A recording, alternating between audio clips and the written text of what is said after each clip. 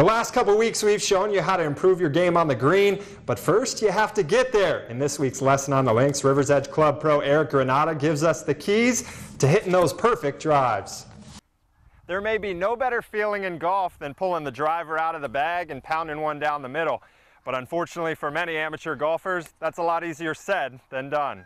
Most of the trouble you can get into with the driver, it's gonna, it's gonna cost you an extra stroke somehow. You miss an iron, at least you're around the green, you have a chance to make that up.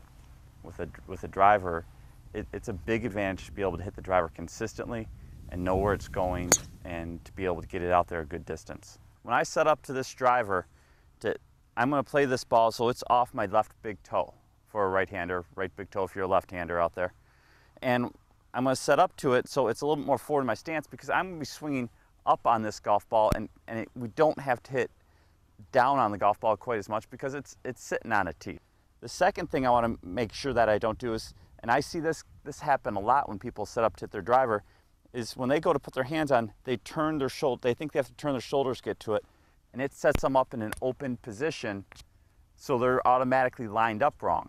When you set up to it, I'd rather you see drop your right shoulder because that's also going to help promote a swing that's going to help sweep this golf ball off the tee and keep us more consistency, consistent in our accuracy and where the ball is going out there towards the fairway. The third thing is I want to see you swing this club as fast as you can as long as you can finish in a good balanced position.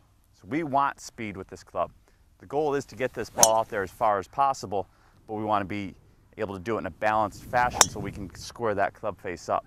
This is one club where speed is definitely our friend and we need to keep that club head moving at a fast pace through this golf ball.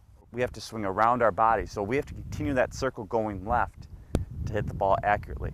That helps us square up the club face so we can hit the ball straighter and essentially further. Ending up over here off the tee can make for a very long hole.